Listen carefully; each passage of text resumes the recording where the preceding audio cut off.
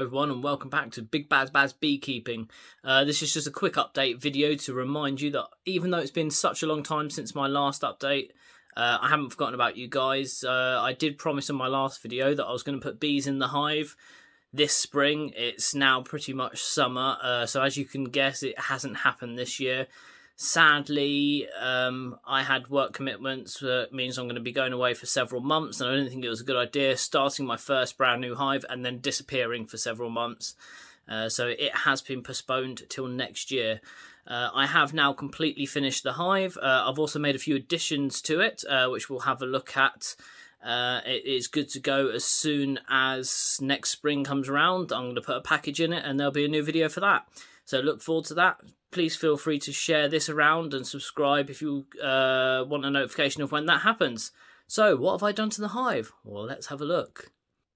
So here is my hive now. Uh, I have given it three coats of tung oil, so it's nice and protected. I've also given the roof a nice uh, couple of coats of this grey slate outdoor wood paint, so that's also nice and protected.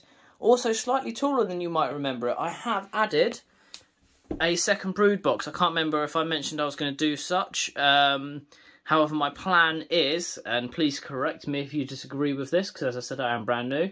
Uh, bottom one I am going to keep as the brood box.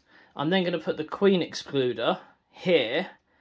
This I'm going to use as a permanent super that I will not touch and it will stay on permanently for the bees to use as their own food storage because I don't want to artificially feed them uh, after their first year if I can avoid it. So that will literally be their food store, and then obviously the super will go on and off as needed.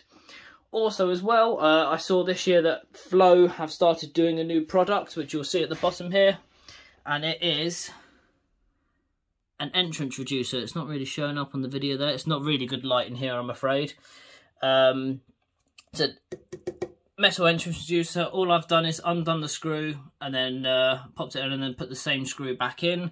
Uh, you can buy the Flow Hive 2 with these now and also a ant prevention leg. Um, but if you've already got a Flow Hive 2, you can buy the parts separately and simply fit them on as you've seen I've done with this here.